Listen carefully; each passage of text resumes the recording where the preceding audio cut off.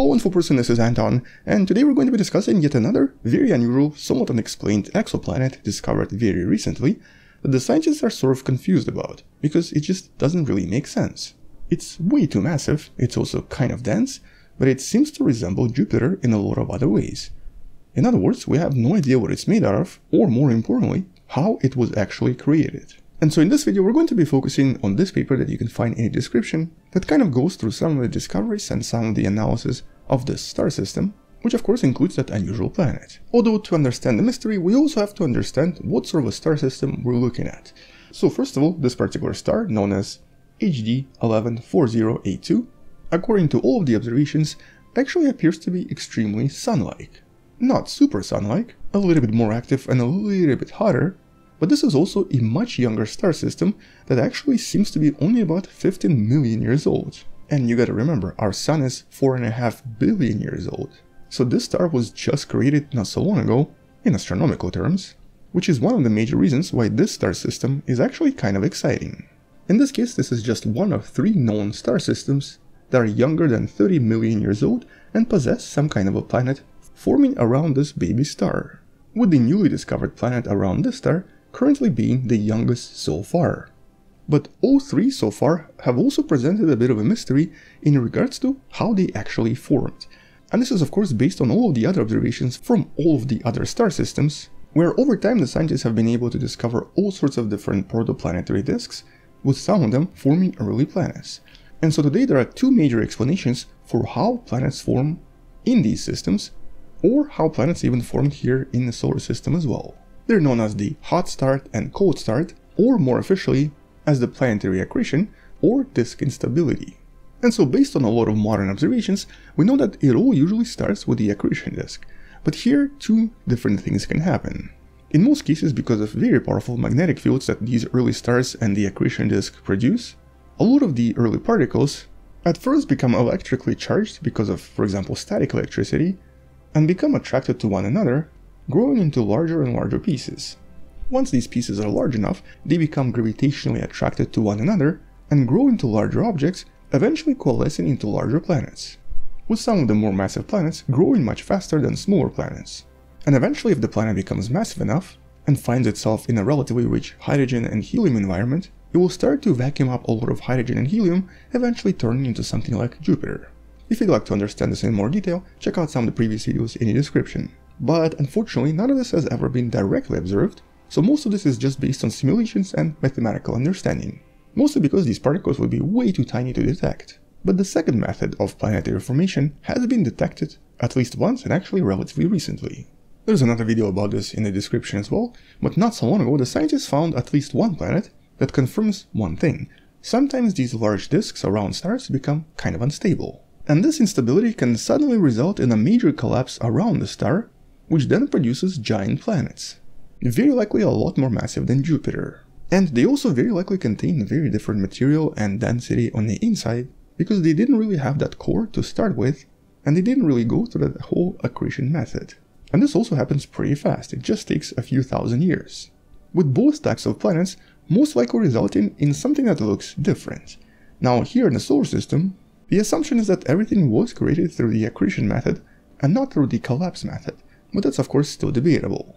Although because of the similarity of Jupiter and Saturn, it's assumed that they were created in the same way, and it's also assumed that it's unlikely that the accretion disk instability would happen twice, creating two planets at the same time. But the point here is that there are these two methods of planetary formation, and we kind of expect these planets to form in a certain way with certain density, with certain materials, and also become of certain size. And so far, of all of the like 10,000 exoplanets we've discovered, pretty much all of them kind of met the expectations. But as you probably know from previous videos, there have been a few discoveries that were kind of surprising. And of all of the unusual discoveries, this planet seems to be the strangest of them all. A planet approximately 300 light years away from us that orbits its parent star every 110 days at a distance of about half astronomical units, or a little bit closer than planet Mercury. But what's intriguing about it is that in terms of the actual size, it seems to be practically identical to Jupiter in a lot of different ways. You probably are already aware how this is done, but essentially during the transit method, by seeing the shadow of the planet passing in front of the star, it becomes possible to measure its size. But over the last 4 years, the scientists have also been measuring the wobble of the star. We call this radial velocity, and that's because the planet is also pulling on the star as well, which means that the sun shifts by just a little bit every few years. And so here, by measuring the wobble, the scientists then determined the mass of this planet, and turns out it's huge.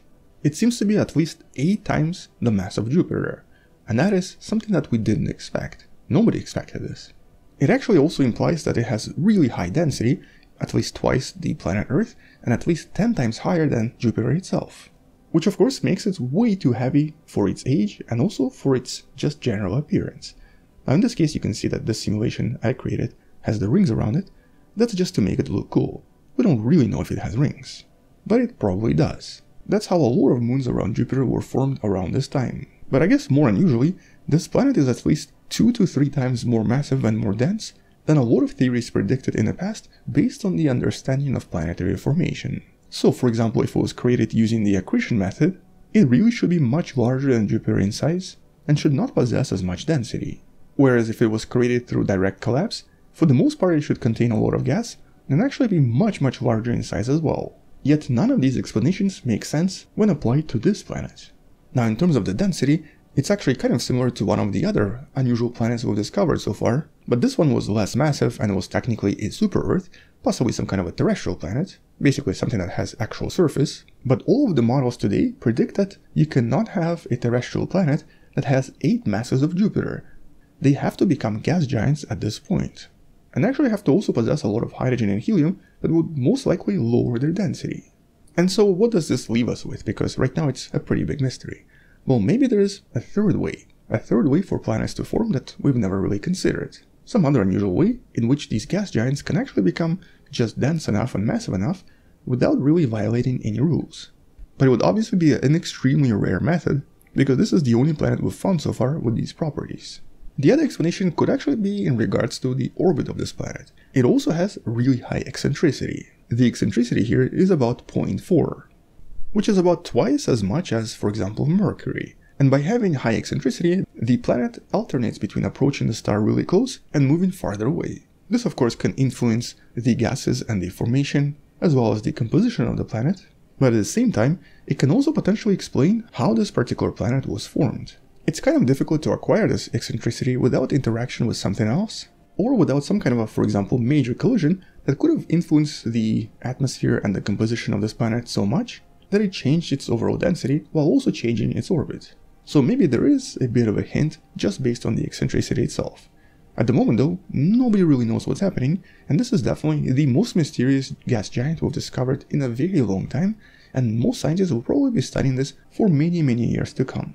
New mystery to solve, new mystery to talk about in some of the future videos. But until then, thank you for watching, subscribe, check out all the relevant links in the description below, support this channel on Patreon by joining channel membership or by buying the Wonderful Person t-shirt you can find in the description. Stay wonderful, I'll see you tomorrow, and as always, bye bye.